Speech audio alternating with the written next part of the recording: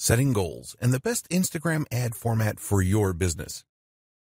Before we get into choosing the best format of Instagram ad for your business, it is important that you understand the objectives that Instagram publish about their advertising solutions. At the time of writing this guide, they could be summarized as follows. To increase the number of clicks to the customer's website, you can decide what section of your website you want the Instagram user to be directed to. Instagram ads should lead to a higher number of conversions. The ads can persuade people to take specific actions on your website. If you have a mobile app, then you can use Instagram ads to drive up the number of installs. You can use Instagram ads to increase activity with your mobile phone app. You can use Instagram ads to drive up video views. With Instagram ads, you can achieve predictable reach and have a greater level of control over message frequency. You can use Instagram ads to drive page post engagement. You can use Instagram ads to create mass awareness to a broad audience with guaranteed impressions. It is very important that you decide on the best Instagram ad format for your marketing campaigns. In order to make this decision, the starting point is always the goal that you have in mind. You need a social media goal. This will act as your guiding light when it comes to Instagram ads. Your goal will help you to decide what you should pursue and almost as importantly, what you shouldn't pursue.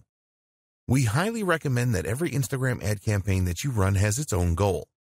There are three main goal options when using Instagram ads, which are 1. Raising the awareness of your brand.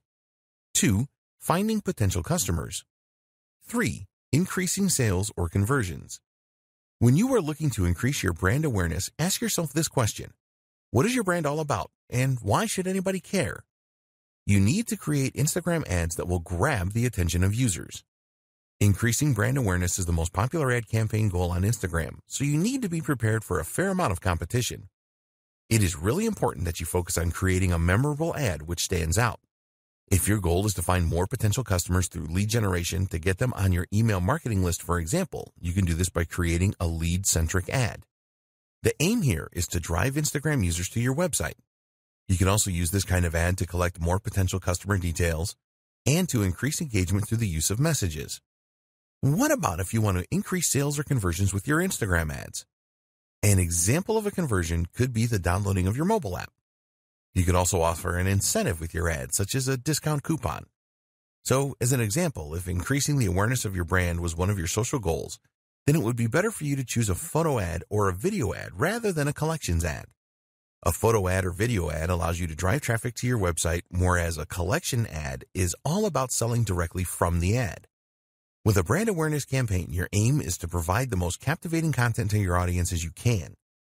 If you have already established your brand and you just want to sell more products, then a collections ad would be a good choice as Instagram users can make a purchase directly. Maybe you want to showcase a number of new products that you are launching.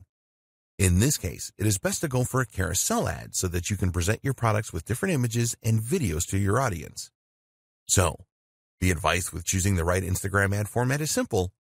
Which ad formats align closely to your goals? For more free educational content, visit learnforfree.biz. Content produced and distributed by AllSuperInfo.